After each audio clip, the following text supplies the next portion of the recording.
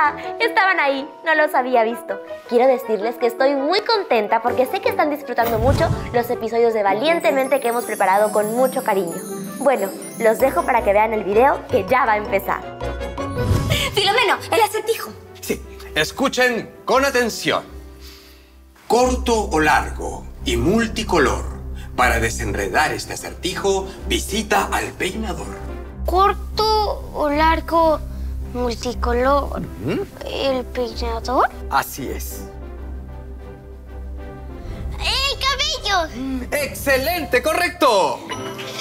Gracias. Gracias. Muy bien, Valentina.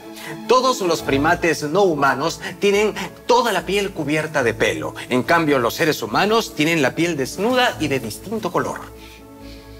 Pero, ¿qué es lo que nos hace de distinto color?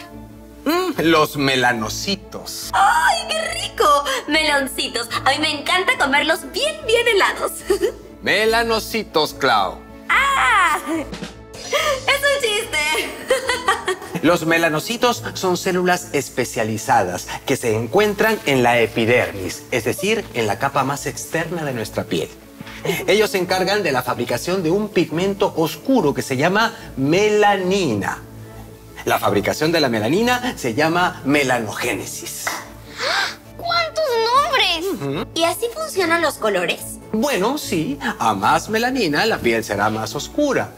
Los melanocitos también se encargan del color de nuestra cabellera, pero estos melanocitos son más grandes y diferentes a los de nuestra piel. ¿Cómo así los meloncitos pueden ser tan...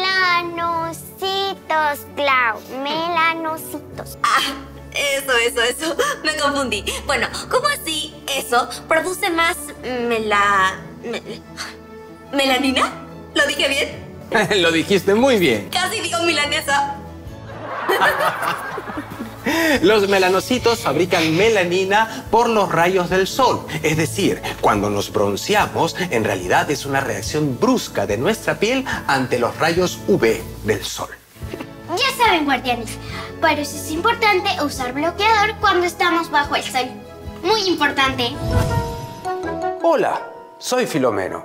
Quiero invitarlos a que sigan viendo otro episodio más de Valientemente. Tenemos mucha diversión para ustedes en el canal de YouTube de Chicos IP, pero sobre todo, mucho por aprender. Nos vemos.